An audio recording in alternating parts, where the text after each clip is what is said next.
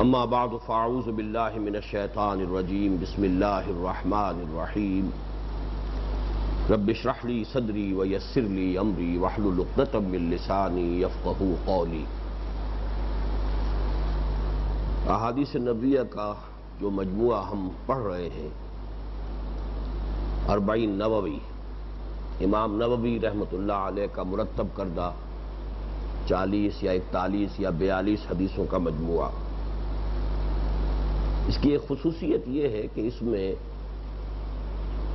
دین کے جو مختلف پہلو ہیں، ان سے متعلق بڑی بنیادی اور اہم احادیث جمع کر دی گئی ہیں۔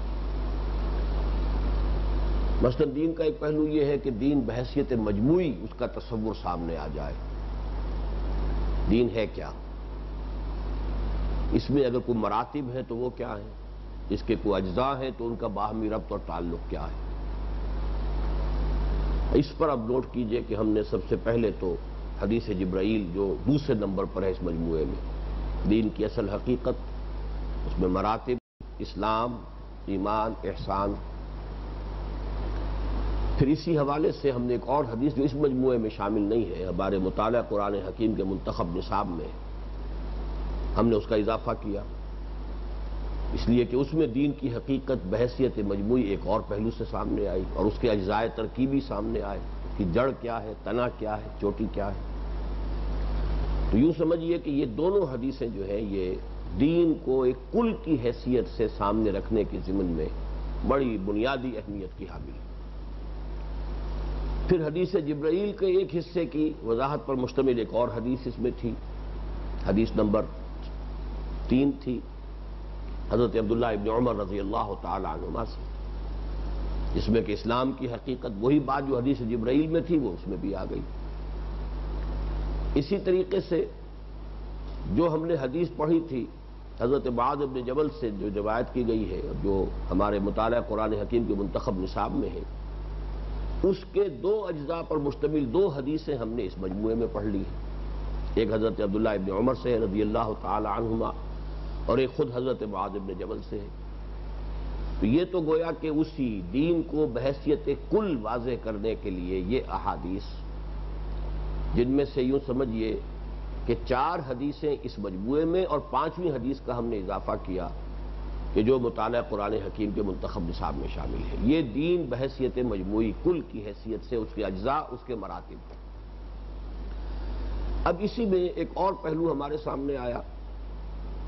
کہ دین میں خاص طور پر عبادات کا جو معاملہ ہے، اس میں بدعات کا اختراع جو ہے، نئی نئی رسومات اور نئی نئی شکلیں پیدا کر لینا، یہ دین کا بالآخر حلیہ بگاڑ کر رکھ دیتا ہے۔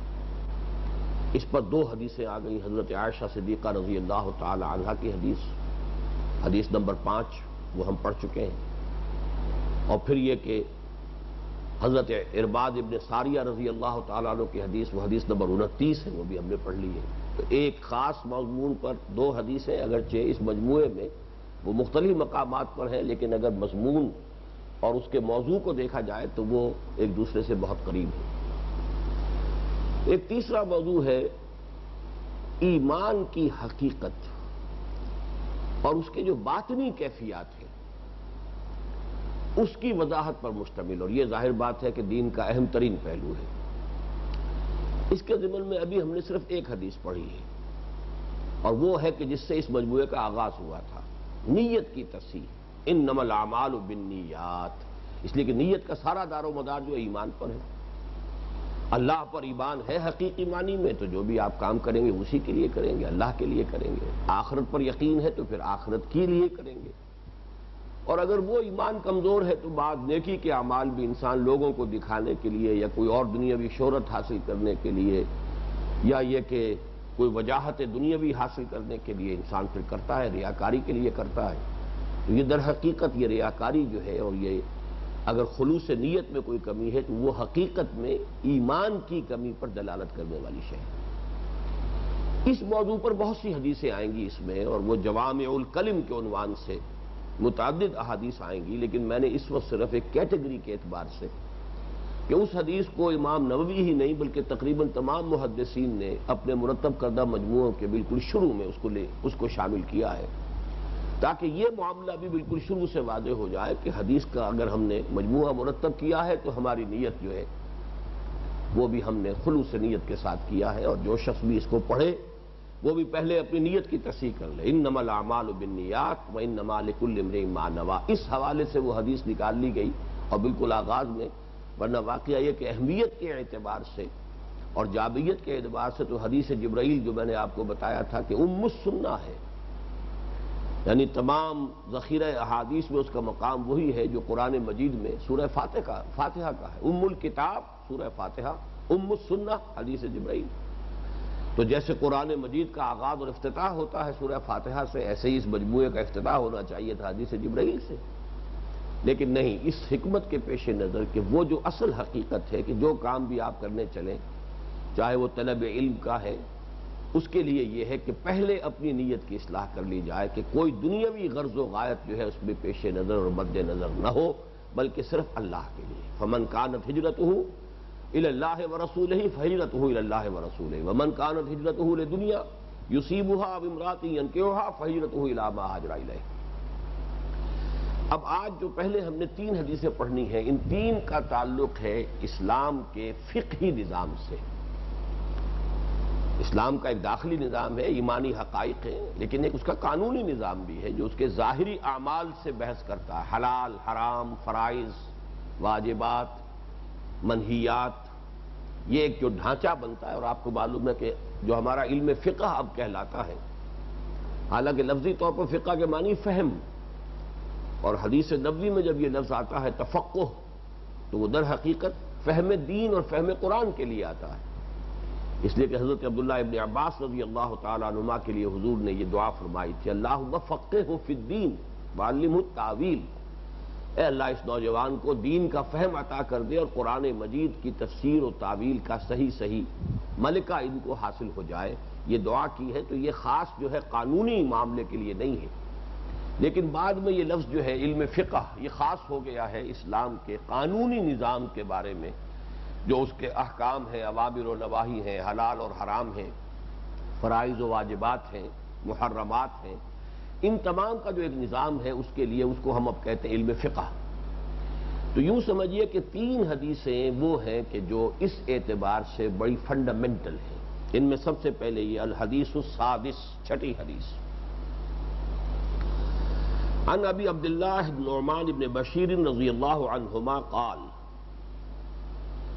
حضرت عبداللہ، ابو عبداللہ نعمان ابن بشیر رضی اللہ عنہما عنہما چونکہ آیا اس کا مطلب یہ کہ حضرت نعمان بھی صحابی ہیں، ان کے والد بشیر وہ بھی صحابی ہیں۔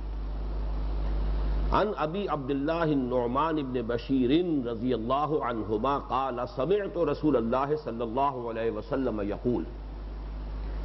انہوں نے فرمایا کہ میں نے خود سنا اللہ کے رسول صلی اللہ علیہ وسلم کو یہ فرماتے ہوئے۔ ان الحلال بین و ان الحرام بین و بینہما امور مشتبہات لا یعلمہن کثیر من الناس۔ بڑی فنڈامنٹل بات ہے۔ حلال، یقیناً حلال بالکل واضح ہے۔ اور یقیناً حرام بالکل واضح ہے۔ بین کہتے ہیں وہ شے جو بالکل واضح ہو، جس کو کسی اور اضافی وضاحت کی، اضافی دلیل کی کوئی ضرورت نہ ہو۔ جس کو میں اکثر اپنے دروس میں فارسی کے اس مقولے سے ہمیشہ اس کی وضاحت کیا کرتا ہوں، آفتاب آمد دلیل آفتاب۔ جب سورج طلوع ہو جائے تو اپنے وجود پر وہ خود ہی دلیل ہے، اب کسی اور دلیل کی اسے حاجت نہیں ہے۔ تو بین شے وہ جو بالکل روز روشن کی طرح آیا ہو، واضح ہو۔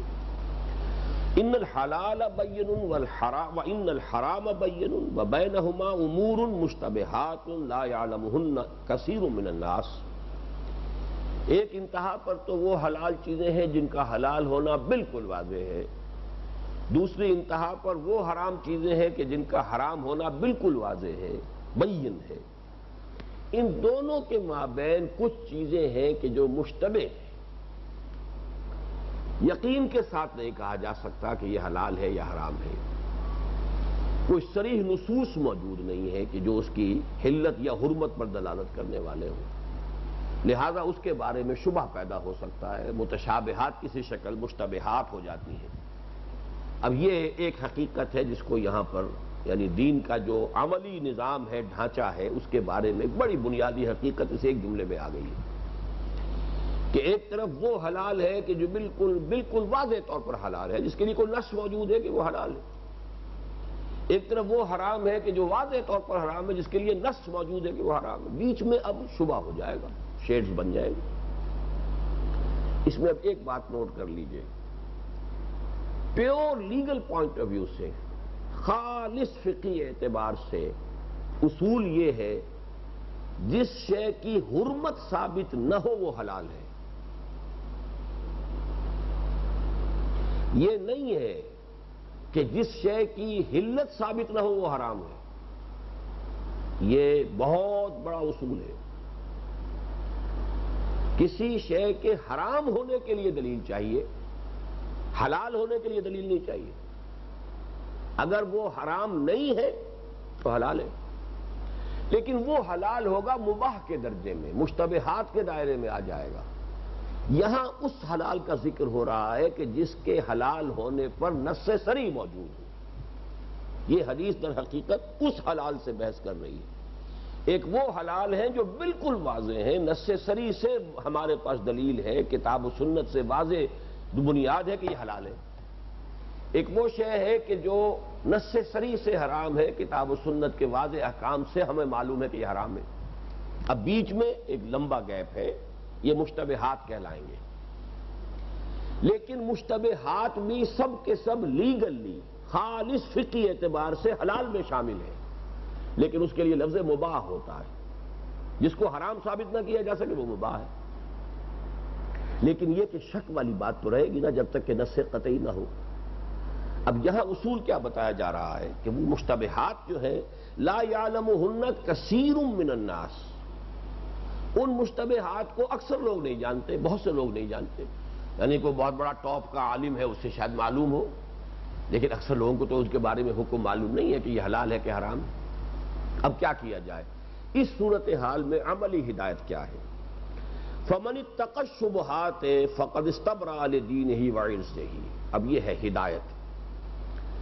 جو شخص بچتا رہا ان مشتبہ چیزوں سے یعنی محض اس دلیل سے کہ مباح ہے، اس کی حرمت ثابت نہیں، اس کا استعمال نہ کرے.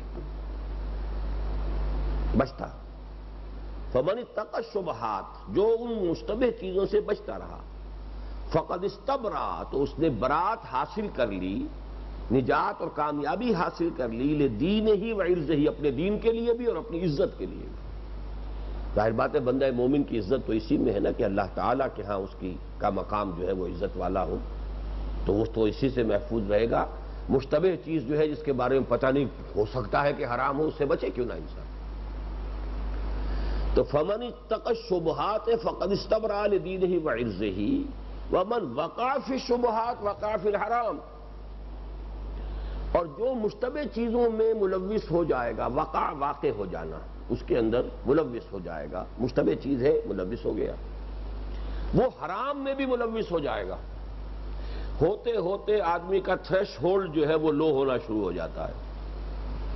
اب دیکھیے سوج سمجھئے کہ یہ حرام مطلق ہے، واضح ہے۔ یہ حلال مطلق ہے، واضح بیچ میں مشتبہات ہیں۔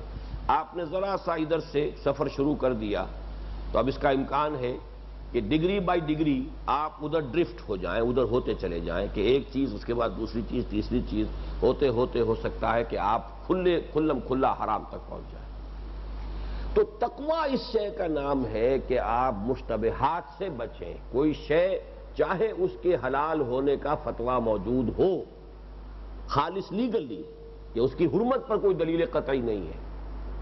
لیکن یہ کہ انسان اس سے بچے، یہ تقوی ہے۔ اس میں انسان اپنی عزت اور اپنے دین کو محفوظ کرے گا اگر وہ اس طرح کی مشتبہ چیزوں سے بچتا رہے۔ اب مثال کے طور پر ایک واقعہ ہے جو ہماری تاریخ کے بڑے ہی میں سمجھتا ہوں کہ قیمتی واقعات میں سے ہے، اس کو یاد ہونا چاہیے۔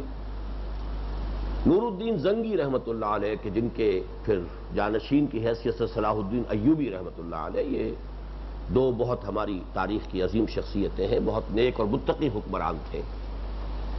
نور الدین زنگی کا ولی حد بیمار ہو گیا شریر مرد الموت ایک طرح سے سمجھی گئی کہ اب یہ زندگی میں بچنے کے بہت کم امکانات ہیں۔ طبیبوں نے کہا کہ اگر شراب یہ پیئے کچھ تھوڑی سی تو کچھ توقع ہے کہ شاید فاقہ ہو۔ کہا گیا کہ تھوڑی شراب پی لیجیے، یہ تو حرام ہے، میں کیسے پی لوں؟ نے کہا کہ جان بچانے کے لیے جائز ہے کہ کہاں ہے؟ فتوا لاؤ۔ فتوا لا دیا گیا۔ جو بھی فقیح تھے، وہ ان کا فتوا آ گیا کہ جائز ہے، جان بچانے کے لیے جائز ہے۔ فرمایا، ہو سکتا کسی دوسرے مسلک کے اندر حرام ہو۔ چاروں سنی فقہا کے اس وقت کے جو مفتی تھے، چاروں کے فتوے آ گئے۔ اب اس شخص نے چاروں کو بلا لیا، انہیں بلاؤ میرے پاس۔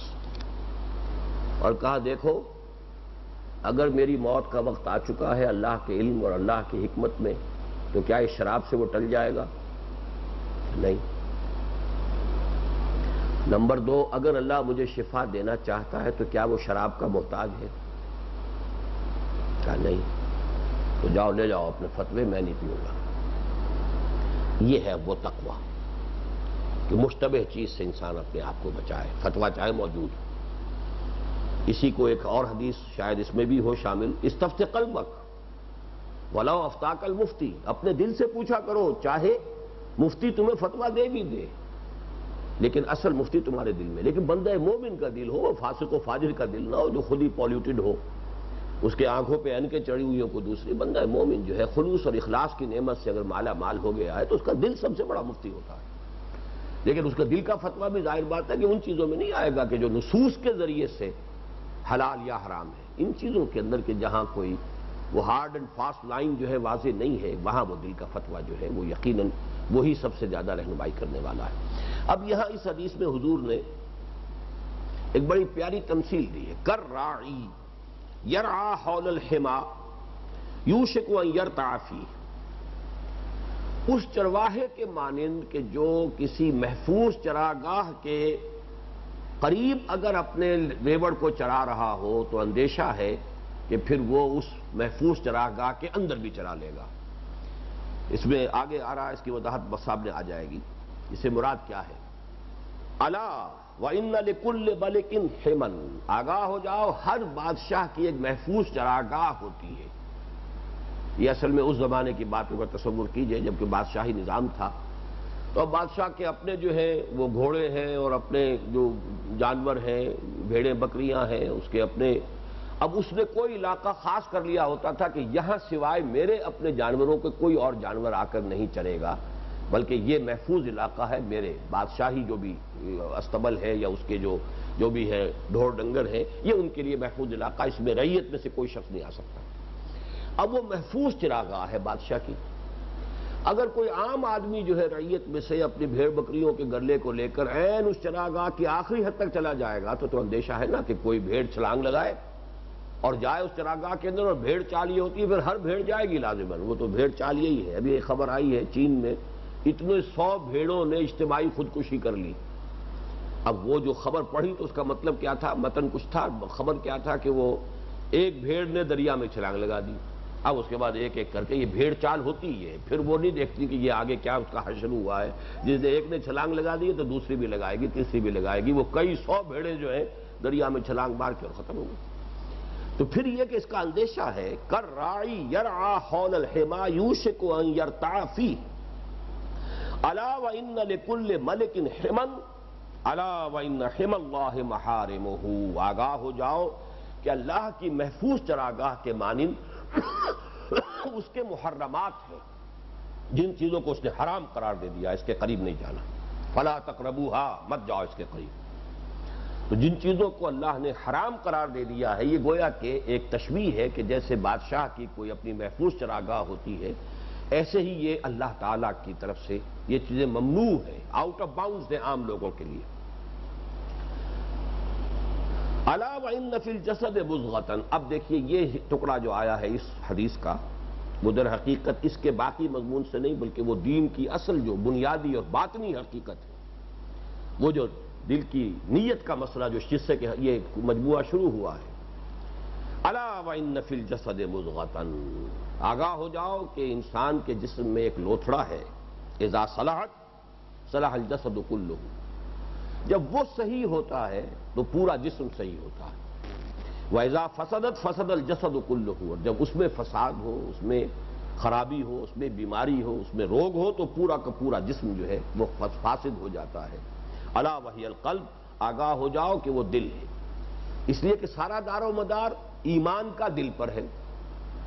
ایمان کا محل جو ہے، مقام، وہ دل ہے۔ ولما یدخل الایمان و فی قلوبکم ابھی تک ایمان تمہارے دلوں میں داخل نہیں ہوا۔ ایمان کے دو محل ہیں، ایک قانونی ایمان ہے، وہ زبان۔ آمنت باللہ کما ہوا باسمائہ و صفاتہ و قبیت جمیع احکامہ۔ آمنت باللہ و ملائکتہ و کتبہ و رسلہ والیوم الاخر والقدر خیرہ و شرہ من اللہ تعالی والبعث بعد الموت۔ اب یہ تو محل کیا ہے اس ایمان کا؟ اقرار باللسان زبان۔ ایمان حقیقی کا محل کیا ہے؟ قلب۔ جیسے کہ سورہ حجرات میں دونوں اعتبارات سے مثبت بھی۔ ولاکن اللہ حبب الیکم الایمان وزینہ فی قلوبکم اللہ تعالیٰ نے تمہارے نزدیک ایمان کو محبوب کر دیا ہے اور اسے تمہارے دلوں میں کھبا دیا ہے۔ اور دوسرے لوگوں کے بارے میں فرمایا، ولما یدخل الایمان فی قلوبکم ابھی تک ایمان تمہارے دلوں میں داخل نہیں ہوا۔ مثبت اور منفی دونوں اعتبارات سے۔ تو محل ایمان حقیقی قلب ہے۔ اب اس میں ایمان ہے تو درست ہے۔ اور ایمان ہی درست ہوگا تو نیت بھی صحیح ہوگی، جیسا کہ میں نے آج شروع میں عرض کیا ان نمل اعمال بالنیات، اور نیت کا سارا دار و مدار جو ہے، وہ در حقیقت ایمان پر ہے۔ تو گویا کہ اگر دل میں ایمان ہے تو سارے وجود میں ایمان سرایت کر جائے گا، اور دل میں ایمان نہیں ہے تو تقوی کا لبادہ حلال اور حرام، چاہے آدمی بڑی باریک بینی کے ساتھ دیکھ رہا ہے، تو حقیقت میں کیا ہوگا پھر؟ اس کا جو تعلق اب ان دونوں حصوں کا جڑتا ہے، وہ کہاں جڑتا ہے؟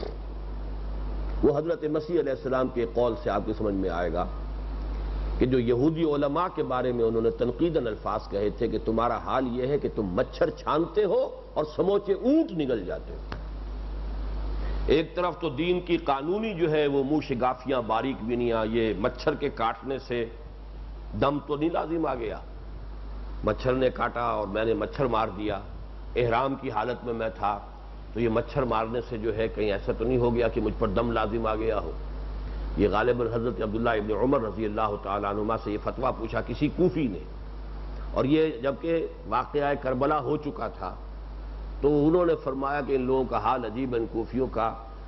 رسول کے نواسے کو تو شہید کر دیا اور مچھر کے مارنے پر انہیں تشویش ہو رہی ہے کہ مچھر کے مارنے سے مجھ پر دم تو لازم نہیں آ گیا کہیں۔ تو اونٹ سموچے نگلے جاتے ہیں اور مچھر چھانے جاتے ہیں بیٹھ کر۔ سودی کاروبار تم بھی کرو، تم اہل حدیث ہو، تم بھی کرو، میں حنفی ہوں، میں بھی کروں گا۔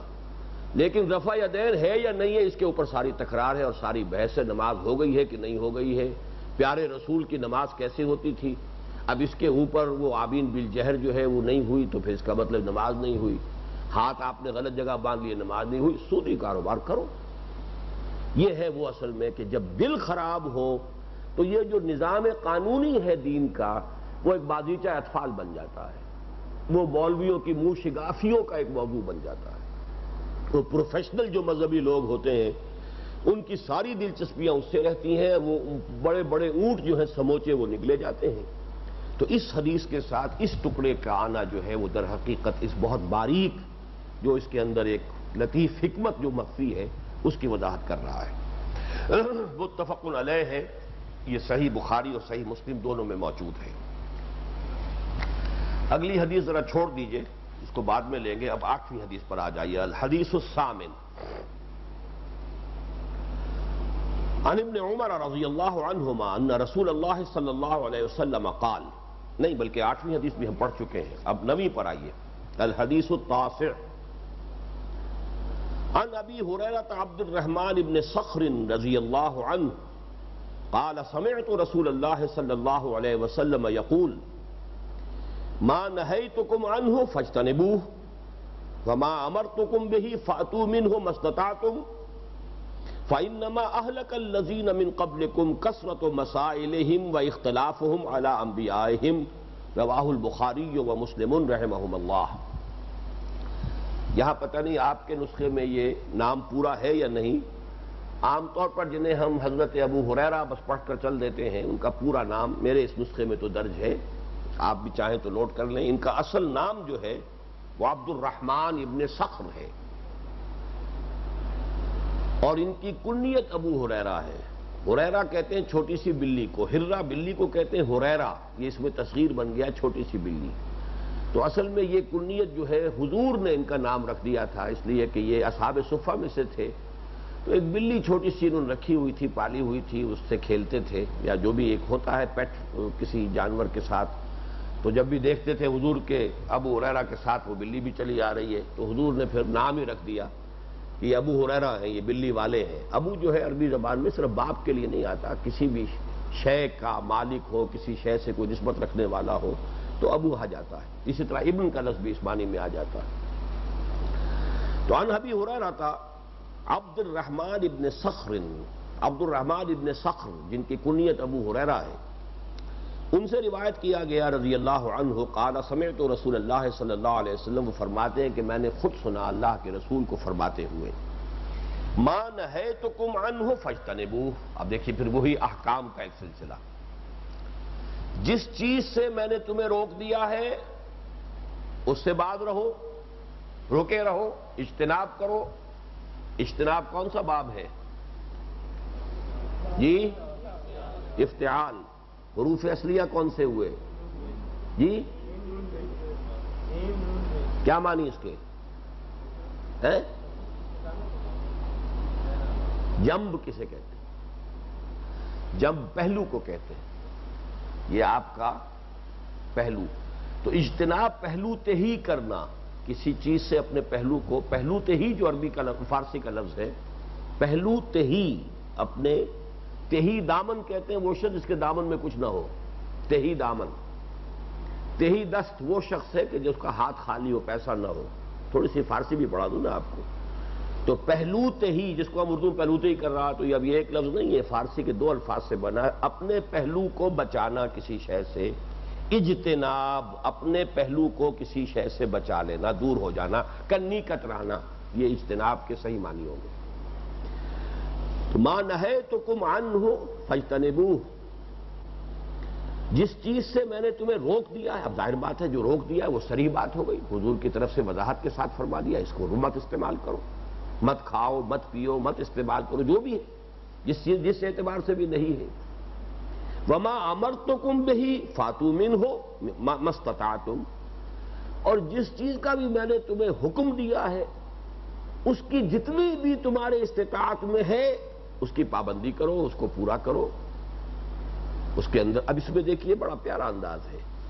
حرام سے بچنے کے لیے تو یہ نہیں کہا کہ جتنا تمہارے اندر استطاعت ہو۔ نہیں، حرام سے تو بچنا ہی بچنا ہے۔ جس چیز سے روک دیا، رکنا ہی رکنا ہے۔ لیکن حلال یا فرض کے معاملے میں یا نیکی کے معاملے میں ظاہر بات ہے کہ درجات ہوں گے آگے سے آگے بڑھنے کا۔ جیسے قرآن مجید میں بھی آیا ہے کہ فیت طب احسن قرآن مجید وہ اللہ کی آیات سنتے ہیں تو اس کے بہتر سے بہتر پہلو کی وہ پیروی کرتے ہیں۔ تو یہاں پہ فرمایا فما امر تو کم بہی فاتو من ہو مستتا تم اس میں سے جس حد تک بھی استطاعت ہے پوری کرو، میرا حکم ہے۔ فَإِنَّمَا أَهْلَكَ الَّذِينَ مِن قَبْلِكُمْ۔ اب یہاں پہ اصل بات کیا کہی جا رہی ہے، یہ اگلی حدیث میں اور واضح ہو کر آ جائے گا۔ کہ جہاں سکوت اختیار کیا ہو نبی نے یا قرآن نے، اس کے بارے میں خام خواہ کھوج کرید مت کرو۔ لہذا یہاں فرمایا گیا فَإِن نما اہلک الزین امن قبل کم کسرت و مسائل یقیناً تم سے پہلے جو امتیں تھیں، انہیں ہلاک کیا ہے، ان کے بہت زیادہ سوال کرنے نے۔ مین میخ نکال رہے ہیں۔ فلاں اگر یوں ہو جائے حضور تو پھر کیا ہوگا؟ حضرت اگر ایسا ہو جائے تو پھر کیا ہوگا؟ یوں ہو جائے تو کیا ہو جائے؟ مفروضات کے اوپر سوالات کے اوپر سوالات کرتے چلے جا رہے ہیں۔ بھائی، جس بات سے روک دیا ہے، رک جاؤ۔ جس چیز کا حکم دے دیا گیا ہے، اس کو اپنی امکانی حد تک پورا کرو۔ اب اگر کسی جگہ سکوت ہے تو اگلی حدیث میں آ جائے گا، یہ سکوت جو ہے، کسی بھول کی وجہ سے نہیں ہے، نسیان کی وجہ سے نہیں ہے، بلکہ یہ کسی مسلحت کی وجہ سے ہے۔ لہذا خام خواہ اس کے بارے میں سوالات کرنا اور خاص طور پر جبکہ ابھی وہی نازل ہو رہی تھی اور حضور شارے کی حیثیت سے موجود تھے، کسی سوال کا جواب میں وہی آ جاتی تو اب گویا کہ وہ قطعی حکم ہو گیا ہمیشہ کے لیے۔ کسی سوال کے جواب میں جو بات حضور فرما دیتے وہ اب شریعت کا جز بن جاتا ہمیشہ کے لیے۔ تو جو اللہ کی طرف سے اور اللہ کے رسول کی طرف سے وسعت رکھی گئی تھی لوگوں کے لیے، وہ خام خواہ سوال کر کے اس میں تنگی پیدا کر لی۔ اس کی ایک مثال بھی آپ سمجھ لیجیے۔ حج کی فرضیت کا حکم آیا۔ اب ایک صاحب کھڑے ہوگا حضور کیا ہر سال فرض فرض ہے حج کرنا؟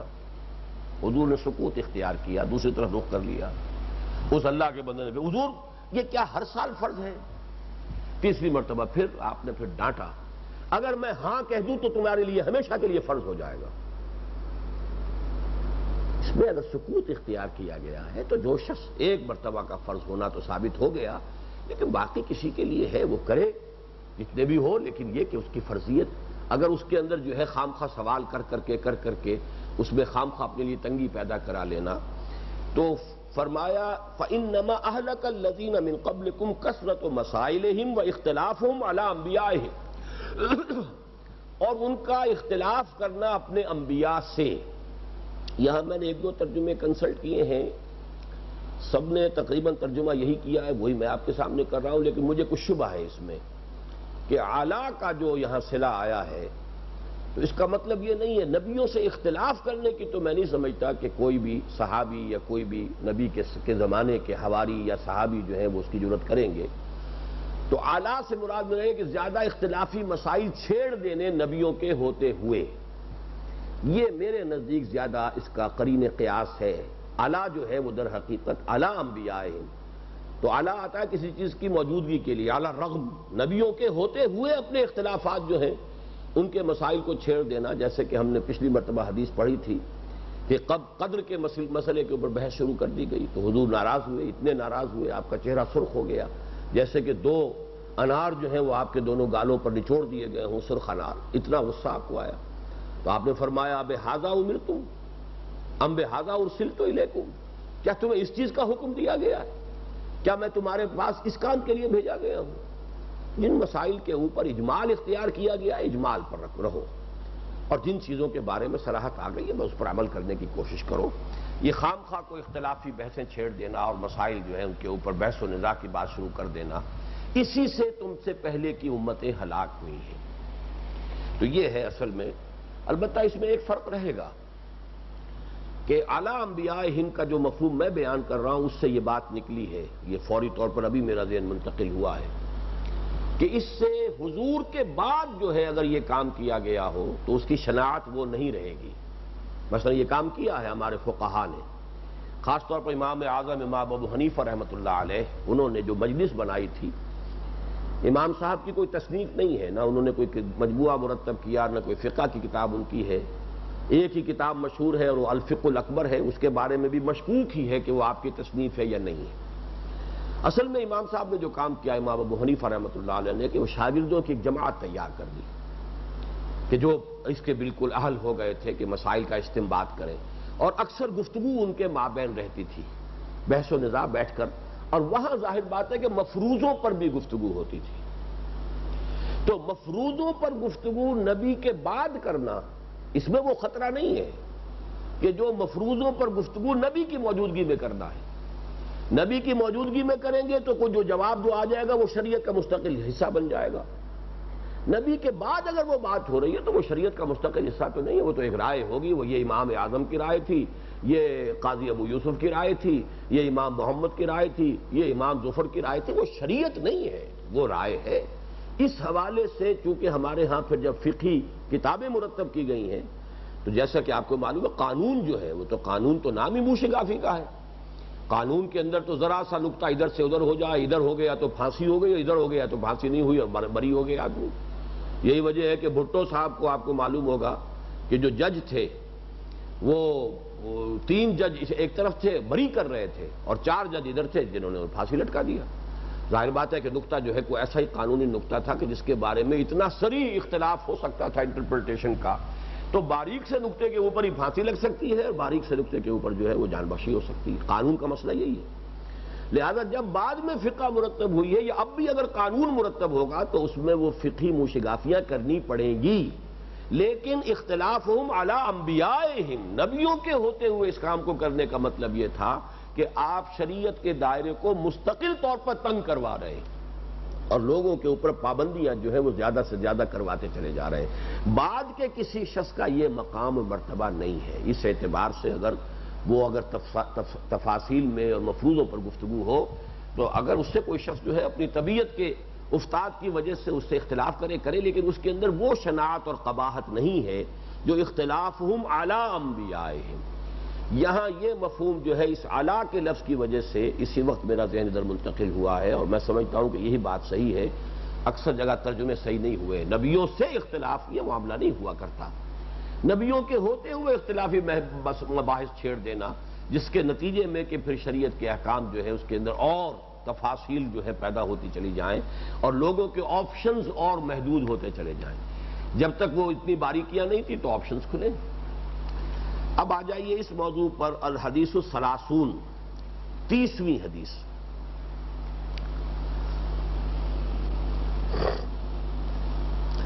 ان ابی سال ابت الخشنی جرسوم ابن ناشرن رضی اللہ عنہ اب یہ ابو سالبہ ہے رضی اللہ تعالی عنہ کہ انہوں نے یہ فرمایا، ان کا نام ہے ابو سالبہ الخشنی جرسوم ابن ناشر۔ نام ہے جرسوم ابن ناشر ناشر کے بیٹے جرسوم۔ الخشنی یہ ان کے قبیلے کی نسبت ہے۔ ابی سالبہ ابو سالبہ یہ ان کی کنیت ہے۔ عام طور پر ابی سالبہ لکھا ہوا ہوگا صرف، پتہ نہیں آپ کے ہاں کیا ہے۔ پورا لکھا ہے۔ تو حضرت جرسوم ابن ناشر الخشنی، جن کی کنیت ابو سالبہ ہے، ان سے مروی کیا گیا، ان رسول اللہ صلی اللہ علیہ وسلم، دیکھیے یہاں وہ الفاظ نہیں سمیع تو۔ انہوں نے روایت کیا حضور سے صلی اللہ علیہ وسلم۔ یہ بھی ممکن ہے کہ انہوں نے خود حضور سے سنا ہو۔ یہ بھی ممکن ہے کہ حضور سے کسی اور صحابی نے سنا انہوں نے ان سے سنا ہو۔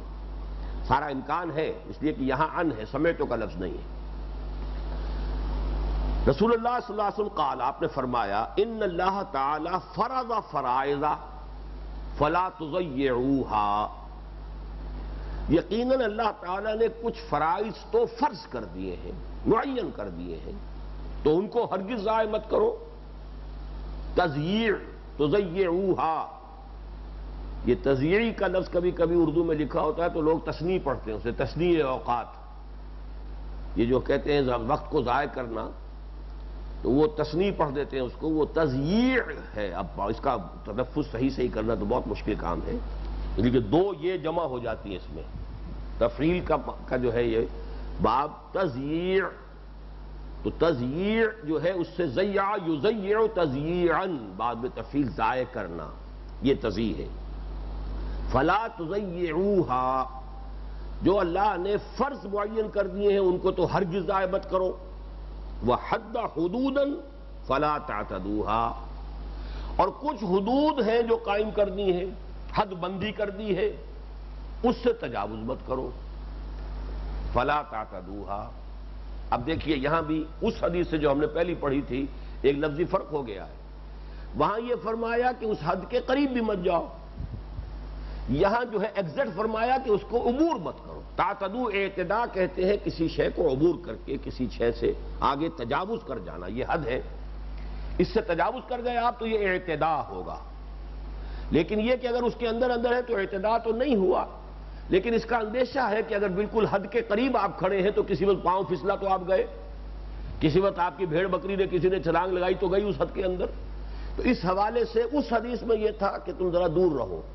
فمن تقا شبہات فقد استبر عال دین ہی وائرز ہی جو ان متشابہات سے یا مشتبہات سے بچا رہا، اس نے اپنے دین اور اپنی عزت کی کا تحفظ کر لیا۔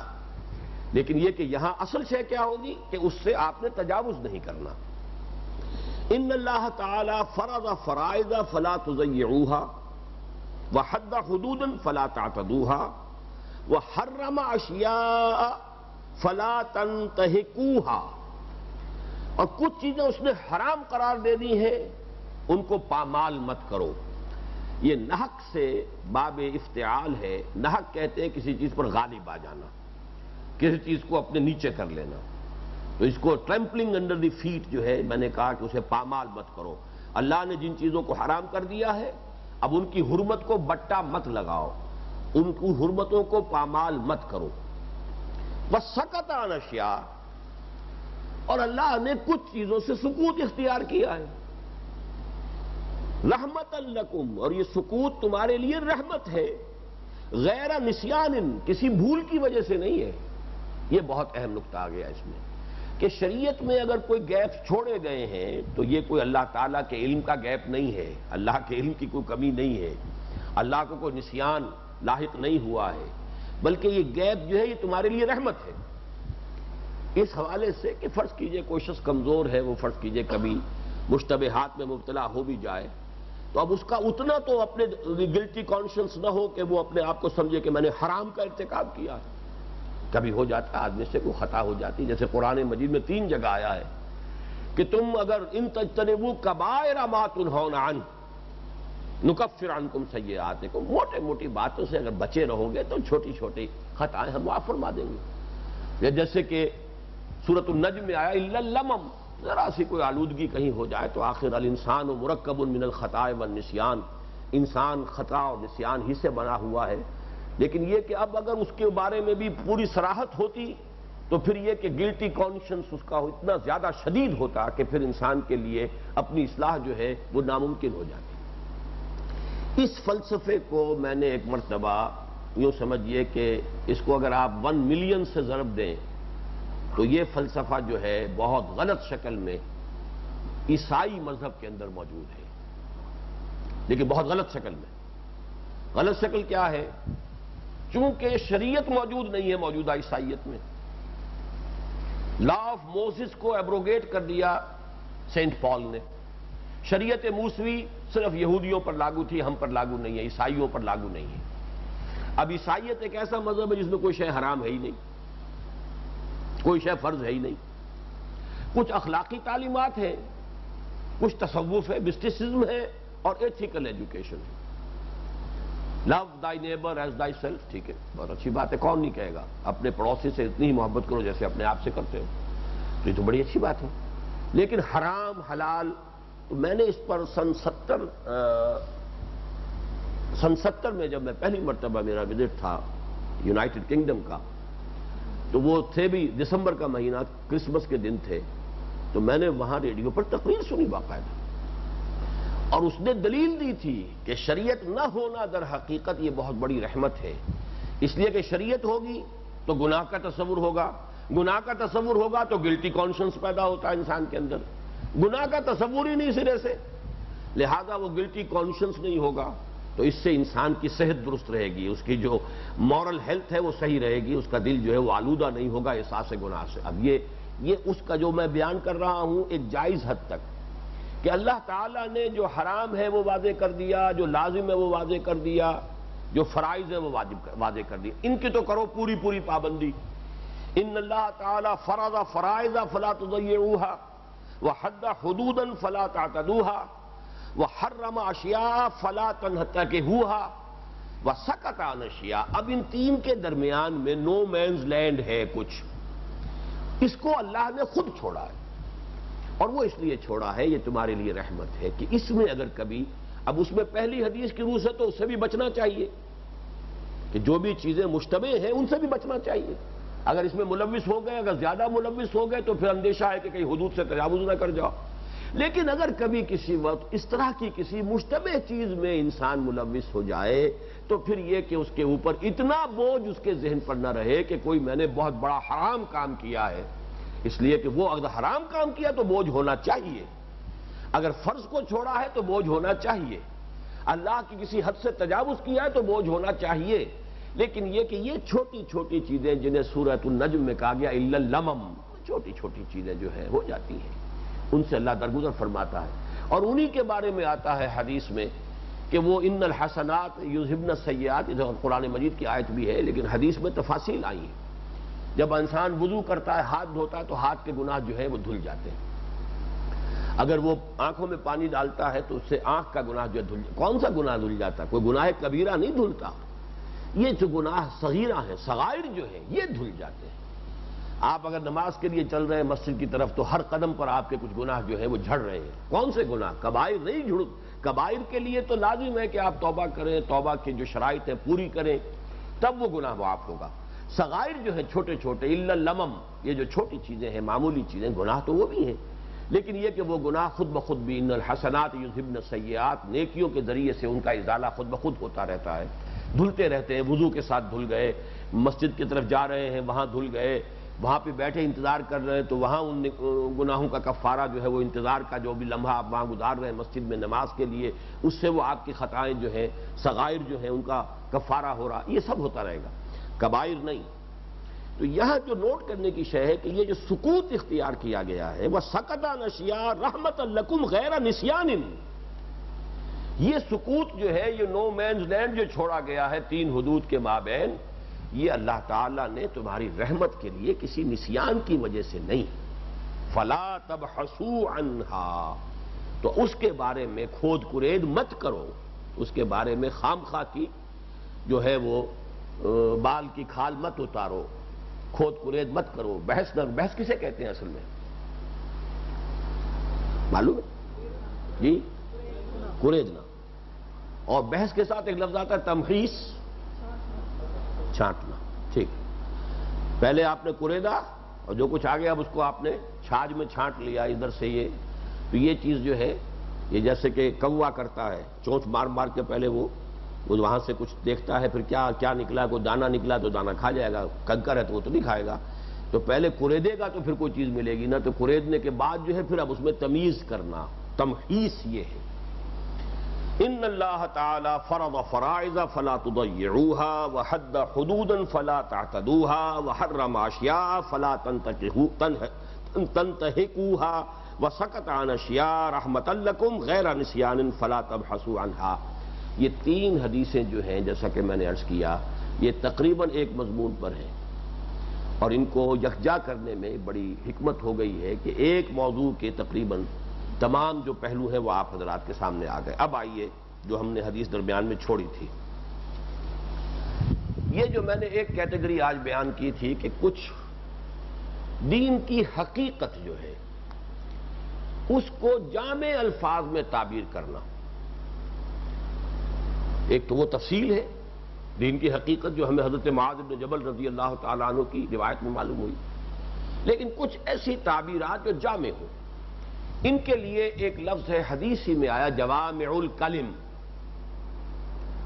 جوامع الکلم کلم جمع ہے کلمے کی۔ جوامع جامع کی۔ جوامع الکلم نہایت کلمات میں سے جامع۔ ویسے تو یہ مرکب اضافی بنا جوامع الکلم لیکن جیسے کہ دین الحق مرکب اضافی کی شکل میں مرکب توصیف، یہ سچا دین۔ ایسے ہی یہاں پہ آپ اس کا ترجمہ کریں گے، نہایت جامع کلمات۔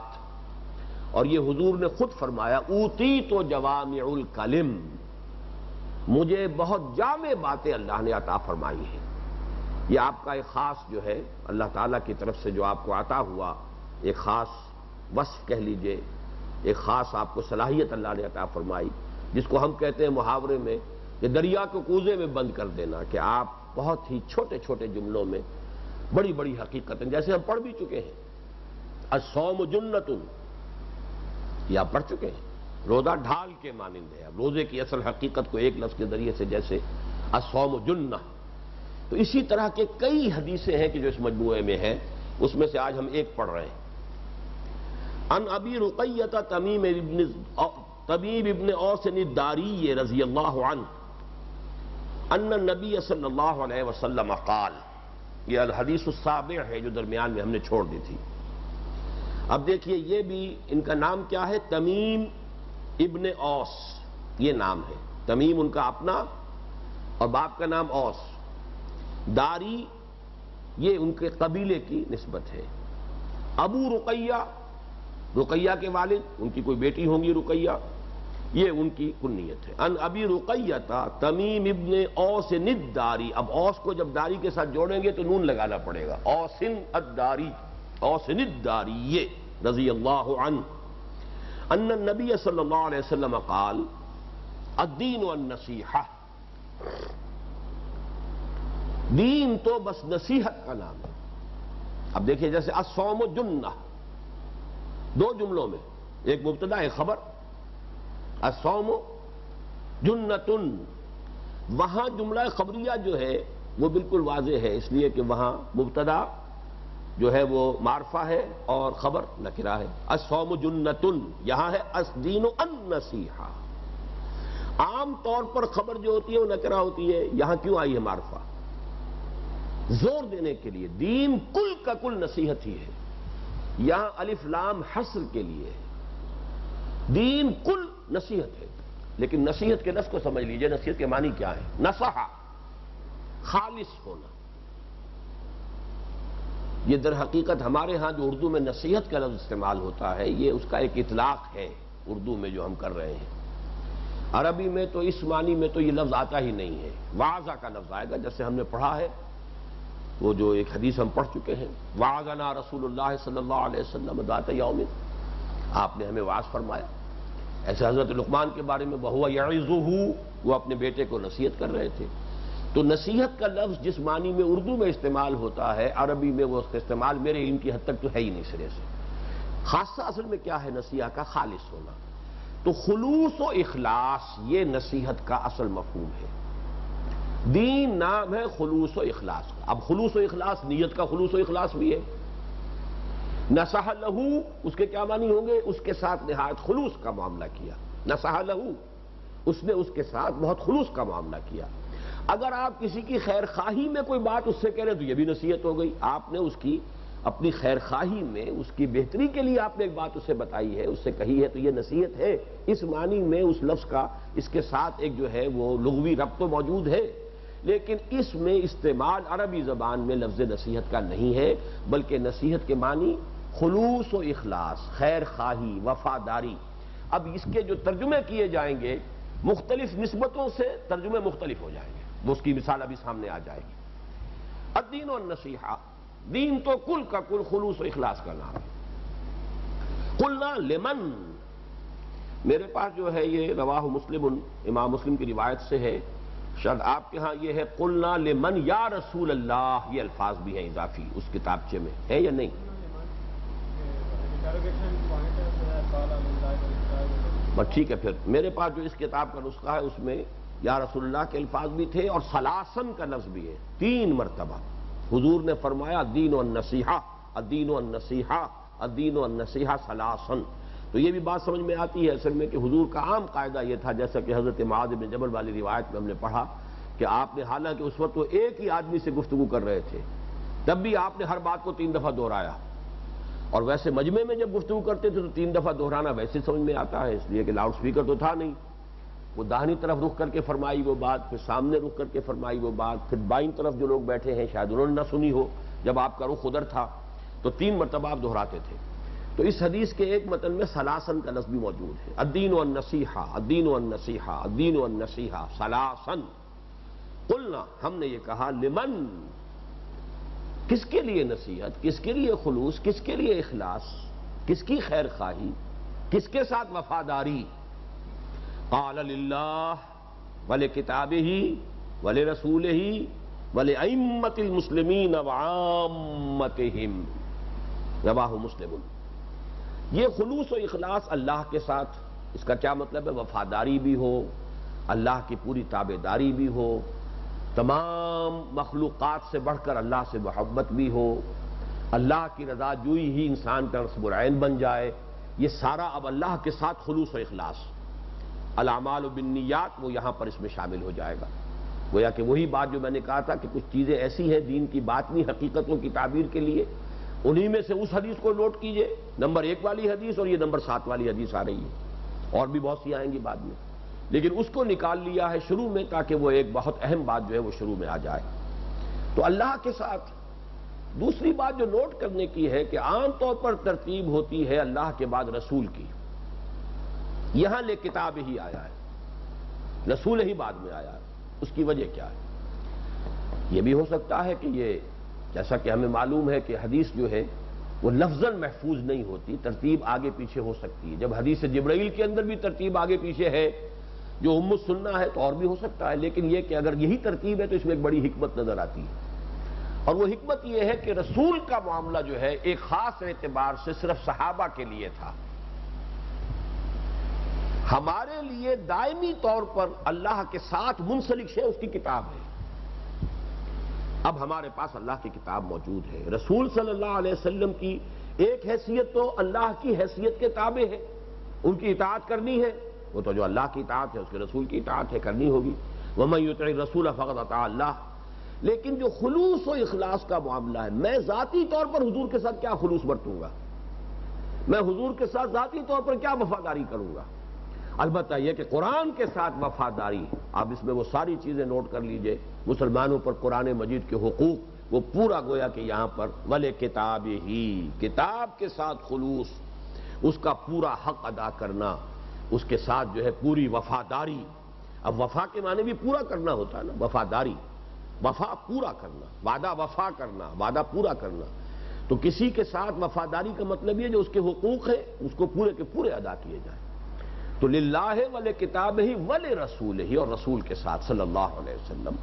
اب اس میں کیا اس کا، اس سے مراد ہے؟ وہ آئندہ ہم حدیث سے پڑھیں گے تو وہ کھل کر آ جائے گا۔ ویسے یہ کہ وہ مضمون تو ہمارے ہاں جو نبی اکم صلی اللہ علیہ وسلم کے ساتھ ہمارے تعلق کی بنیادوں والا کتاب چاہے حب رسول کے تقاضے ہیں، یہ کتاب سے موجود ہیں، لیکن اس مجموعے میں بھی حدیثیں آئیں گی۔ لیکن جو اہم تر حصہ ہے اس کا، ہمارے لیے خاص طور پر آج کے دور میں کسی دینی جماعت کے لیے، کسی خادم دین فرد یا خادم دین جماعت کے لیے۔ ولے امت المسلمین عامت یہ خلوص اور اخلاص اور وفاداری اور خیر خواہی یہ مسلمانوں کے ائمہ کے لیے بھی اور مسلمانوں کے عوام کے لیے بھی۔ اور یہاں عوام پر ائمہ کو مقدم کیا گیا۔ بھلے امت المسلمین عامت اس کی وجہ کیا ہے؟ یہ بھی بغیر کسی سبب کے نہیں ہے۔ ترجیح بلا مرجع نہیں ہے۔ جس کے ہاتھ میں بھی مسلمانوں کے معاملات کی باغ ڈور آ گئی ہے، صحیح آئی ہے، غلط آئی ہے اچھا آدمی ہے، برا آدمی ہے، لیکن بہرحال قسمت تو اب اس وقت اس کے ہاتھ میں ہے نا۔ وہ کوئی غلطی کرے گا، بیڑا غرق ہوگا، اس کو کوئی صحیح بات کہہ دیں شاید اس کے دل کو لگ جائے تو قوم کے لیے، ملک کے لیے، پوری امت کے لیے مفید ہوگی۔ لہذا نص و خیر خواہی اس کے ساتھ رہنی چاہیے۔ وہ نص و خیر خواہی کا مطلب یہ نہیں کہ اس کا حکم مانا جائے، وہ تو اللہ اس کے رسول کے ساتھ معاملہ ہے۔ مطلب یہ کہ اسے ہمیشہ صحیح مشورہ دیا جائے۔ اس صحیح مشورے کے اندر وہ بات بھی شامل ہے۔ جیسا کہ حضور نے فرمایا کہ انصر اخا کا ظالمن او مظلوم اپنے بھائی کی ضرور مدد کرو، چاہے ظالم ہو، چاہے مظلوم ہو۔ اور صحابہ حیران ہوئے کہ ننسرو ہوں مظلوم انفا کیفا ہوں ظالمہ حضور یہ تو سمجھ میں آ گیا کہ مظلوم ہونے کی حالت میں ہم اس کی مدد کریں۔ ظالم ہونے کی حالت میں کیسے مدد کریں؟ فرمایا اس کا ہاتھ روک لو ظلم سے، یہی اس کی مدد ہے۔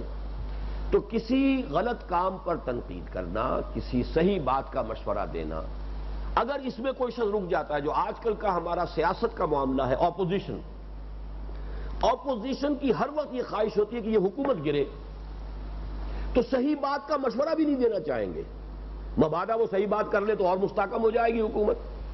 یہ بالکل باریک بات ہے، اچھی طرح سمجھ لیجیے۔ صحیح بات اپنے پاس رکھیں گے، روک کر کہ وہ تو اگر ہمارے ہاتھ میں طاقت آئے گی تو ہم کریں گے۔ لیکن اس وقت جو حکومت ہے، اس کو ہم یہ صحیح بات کیوں بتائیں؟ اس کو تو ہر حال میں سینشر کرنا ہے، اس کو ہر حال میں اس کو جو ہے لوگوں کے سامنے ڈسکریڈٹ کرنا ہے، ہر حال میں اس کے اوپر تنقید ہی کرنی ہے۔ اسے تو کوئی الٹی پٹی ہی پڑھانی ہے، تاکہ وہ الٹی پٹی پڑھائے، کسی کھائی میں گرے تو ہماری حکومت کے بننے کا امکان پیدا ہو۔ یہ ہے اصل میں موجودہ دور کی جمہوریت، جو مغربی جمہوریت ہے، جس میں کہ party in power and party in opposition کے مابین جو ریلیشنز ہیں، وہ بالکل جو سمجھئے کہ پیتھولوجیکل وہ ایک طرح کی مرض کی نشاندہی کرنے والی چیزیں ہیں۔ لیکن اسلام میں یہ ہے کہ آپ صحیح مشورہ دیجیے، جو بھی اس وقت ہے، اب ہے وہ۔ لیکن یہ کہ جو بات آپ صحیح سمجھتے ہیں، اگر آپ ود ہولڈ کر رہے ہیں، تو آپ خیانت کر رہے ہیں قوم کے ساتھ۔ آپ نے اس وقت کی حکومت یا جو بھی جس کے ہاتھ میں دمام کار ہے، آپ نے اگر اس کو صحیح رائے نہیں دی، وہ مانے نہ مانے، اس سے آپ کو کوئی سروکار نہیں، آپ کے اوپر کوئی اس کا الزام نہیں نہیں مانتا نہ مانے۔ مان لے تو بہت اچھا ہے، اللہ تعالیٰ آپ کی اس رائے رائے کے ذریعے سے کوئی راستہ اس کو سجھا دے اور ملک و ملت کا خیر کوئی اس سے وجود میں آ جائے۔ لیکن آپ ود ہولڈ کریں گے تو آپ نے تو خیانت کر لی۔ تو ولے امت المسلمین عامت عوام مسلمانوں کے لیے بھی خیر خواہی، بھلائی کی بات کرنا، ان کی ان کی بہتری کی ہمیشہ جو ہے فکر کرنا، اس کے لیے بھی کوشاں رہنا۔ یہ سارے ساری چیزیں جو ہے یہ گویا کہ ایمان کا ایک خاص لب لباب حضور نے الدین و النسیحہ کے عنوان سے بیان کیا۔ الدین و النسیحہ قلنا لمن؟ قال للہ ولی کتاب ہی ولی رسول ہی ولی امت المسلمین وعامتہم رواہ مسلم رحمہ اللہ۔ سبحانک اللہ۔